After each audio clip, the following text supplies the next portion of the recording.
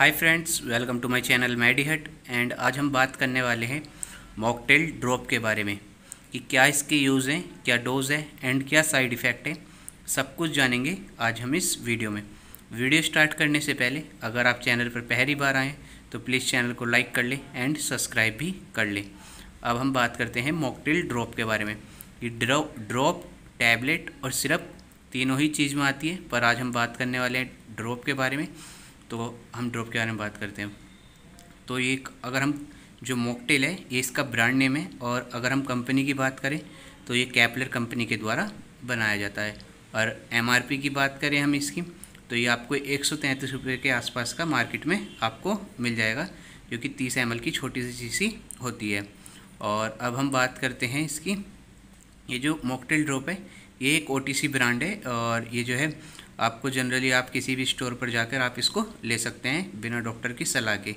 अब हम बात करते हैं इसके कंपोजिशन के बारे में, यानी इसके अंदर साल्ट क्या क्या पाए जाते हैं या इंग्रेडिएंट्स क्या क्या पाए जाते हैं। तो ये जो है एक मल्टीविटामिन ड्रॉप होती है मल्टी मिनरल्स होते हैं इसके अंदर एल लाइसिन होते हैं कोलिन होते हैं एंड डीएचए भी प्रेजेंट होता है। अब हम बात करते हैं इसके यूजेस के बारे में, कि इसका यूज़ हम किन किन समस्याओं में करते हैं। तो एक तो ये न्यूबॉर्न बेबी से लेके छः या आठ महीने तक के बच्चों को ही ड्रॉप दी जाती है। अगर उससे कोई ऊपर है तो उसको सिरप या टैबलेट की फॉर्म में अब हम देंगे। और हम बात करते हैं यूज़ के बारे में कि इसका यूज़ हम किन किन सिचुएशन में करते हैं। एक तो इसका यूज़ हम इम्यूनिटी बूस्टर में करते हैं। अगर बच्चे को बार बार बुखार आ रहा है तो उन समस्याओं में भी करते हैं।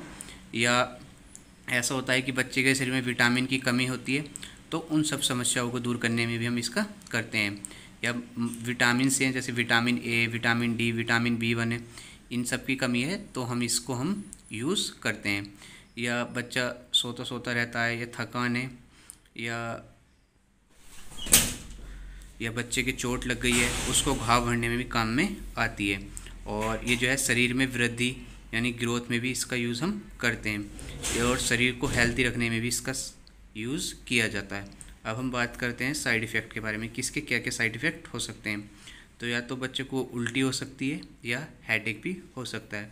अब हम बात करते हैं डोजेस के बारे में, कि इसकी डोज़ हमें कितनी कितनी लेनी चाहिए। तो इसकी जनरली डॉक्टर दस दस बूंद सुबह शाम, या ज़ीरो पॉइंट फाइव एम सुबह शाम लिखता है। पर एक बार आप जब भी इसको दें तो एक बार अपने डॉक्टर से कंसल्ट कर लें एंड उसके बाद ही ये लें। And I hope you like this video thank you for watching this video